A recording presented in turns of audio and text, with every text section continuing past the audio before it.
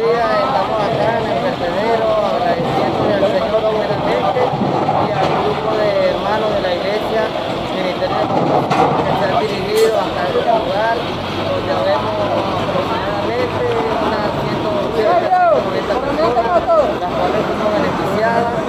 Gracias a la colaboración que trajeron de alimentos, medicina, ropa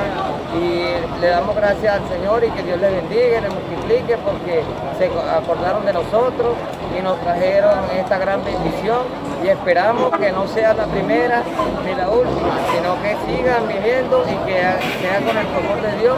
ellos este, puedan conseguir los medios para que nos sigan ayudando, porque aquí venimos a trabajar agradecido con ellos y con Dios, le damos las muchas gracias, se la doy Jesús Perosa en nombre de todos mis compañeros.